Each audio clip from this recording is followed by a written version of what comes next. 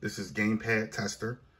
See this situation here tells you if your buttons work. And this works for any device that you can plug into the computer as far as a gamepad, um, any type of device, as long as you can get it to be plugged into the computer. So this, like I said, is my PS2 controller. I'm going to activate the analog sticks by pressing this button here. You see the red light for activation.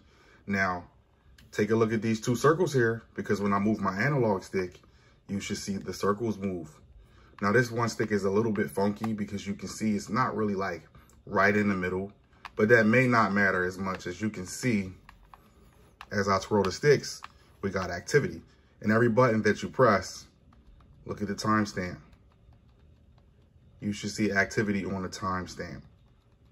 And potentially you'll see something as long as in these little uh, places here. Like when I press this button here, I got activity on B5. The bottom button, I have activity on B7. The other side, B4 and B6. And you pretty much just press all of your buttons and you should see stuff going on. Not all at the same time, but you press your buttons, you see activity, you know your controller works. Why is this important? If you're doing trash to cash, if you're thrifting, if you're doing anything where you get hardware that is used and you want to see if it's working, this is how you can test it.